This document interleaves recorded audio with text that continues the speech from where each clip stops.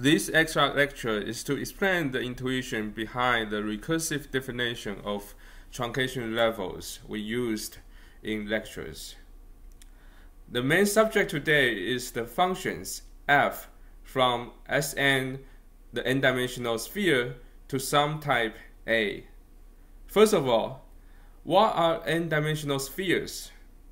The standard n-dimensional sphere is essentially the set of points of the same distance 1 from the origin in the n plus 1 dimensional Euclidean space, with a suitable topology describing how these points are glued together.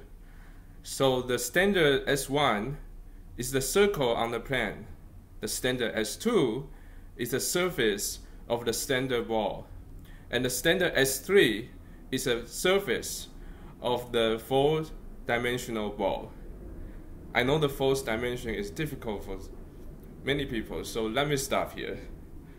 Well, um, the projection of S3 onto the three-dimensional space is just two um, superpositioned solid balls.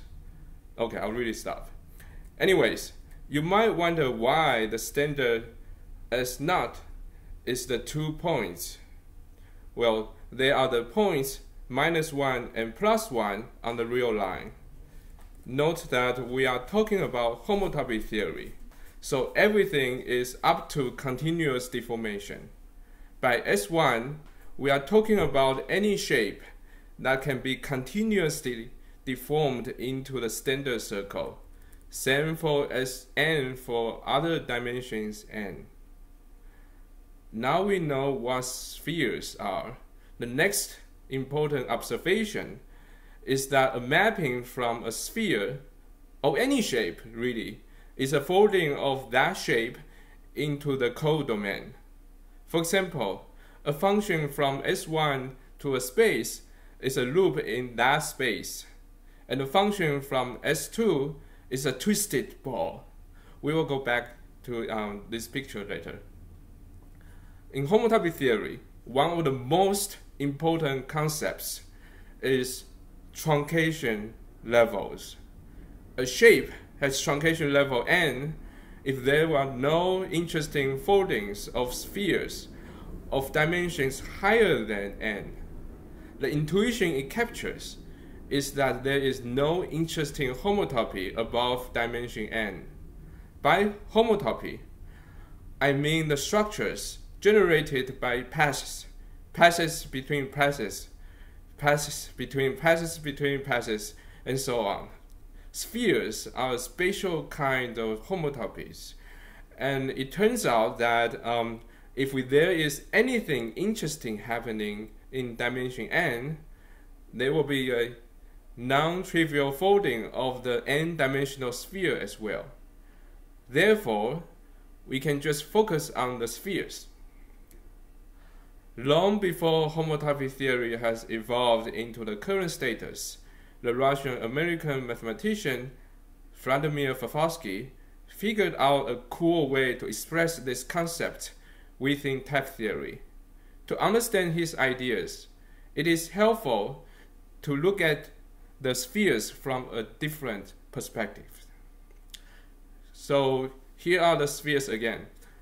S naught is still the space with two points, but S1 is now filled as the two points plus two arcs connecting the two points. And S2 is the two points plus two arcs plus two hemispheres. Each hemisphere is connecting the two arcs. Um, in general, a sphere can be decomposed into a list of components, two for each dimension and the ones in the next dimension are connecting the two in the previous dimension. This perspective can be precisely formulated by iterated suspensions, but I will not discuss those today. Anyways, let's go back to the picture that sends a sphere to some type. If the sphere can be decomposed into a list of components as we did, so can its image. The recursive definition of truncation levels is based on this decomposition. Let's look at the level minus 1, the level 0, and level 1. The condition of being at level minus 1 means that for any two points, there is an arc identifying them. The condition for level 0 is that for any two points and any two arcs, there is a disk filling the hole made of the two arcs. The condition for level 1 is that for any two points, any two arcs, and any two hemispheres, there is a ball, a solid ball, filling the hollow made of the two hemispheres. Now you can see the pattern. The condition for level minus 1 collapse any folding of the two points because the arc will connect the points. The two points are the S naught. So this basically says there's no interesting folding of S naught. Moreover, it collapses the folding of all spheres of higher dimensions due to continuity, a phenomenon we explored in Homework 2 and earlier lectures. Therefore, there is no interesting homotopy above minus 1, which, by definition, means the type is at level minus 1. For the next level, it's ranging over two points and then two arcs. Remember that um, the two points plus the two arcs make the circle. And thus, the domain is effectively ranging over all the images of the circle. And the condition says that we can fill any image of the circle, making all homotopies of dimension 1 trivial. Moreover, because our filler is chosen continuously, um, it also kills all interesting homotopies of higher dimensions. Um, so nothing is interesting above dimension 0, and the type is thus um, at level 0. For the next level, there are two points, two arcs, and then two hemispheres. They are the decomposition of the image of the two sphere. Again, the condition says that there is no non-trivial folding of the two sphere or any sphere of a higher dimension, for example, the three sphere or four sphere. We can use the decomposition of the spheres to write down the condition of truncation levels. And they eventually lead to the recursive definition that we had. The only thing we did not explain is that in the base case, we use the contractibility of the type A instead of A itself. Um, being contractible is stronger than being inhabited, and this stronger condition is to match the spatial truncation level minus 2. We will see why it makes sense to have contractibility later. For now, we can at least see that the recursive definition is a sufficient condition of the usual definition of the truncation levels in classical theory.